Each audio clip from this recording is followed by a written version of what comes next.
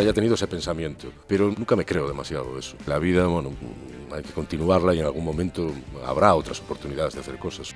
De chavalito, ¿no? Pensaba así. Es verdad, me parece que la vida siempre te presenta oportunidades y en definitiva los anhelos de cada uno tejen esas posibilidades, me parece, ¿no? El rol de la mujer en esta película, sí, el, rol de este, Stephanie Cayo como Verónica, es, es el rol más sensato y más maduro y además, curiosamente, el personaje que interpreta Gloria también toma su decisión en uno de los momentos claves y dice, no, por esto no voy a pasar. Cuando estos dos cenutrios son incapaces de ver el, final del... O sea, el borde del precipicio, ¿no? Y dice, no, vamos.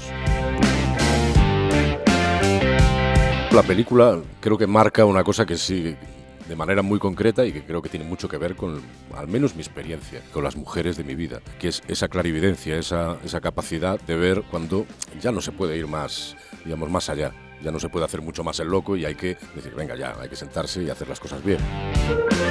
Creo que hay muchas este, sanas diferencias entre hombres y mujeres donde no debería haber diferencias en los derechos, por supuesto. Básicamente creo que las mujeres son seres poderosísimos, este, capaces de concebir la vida, capaces de tener intuiciones profundas y certeras, que por ahí los hombres estamos en vorágines este, distintas, y es cierto, coincido con Luis, esa inteligencia emocional, sí, esa manera de, ver las cosas a veces como son, ¿no?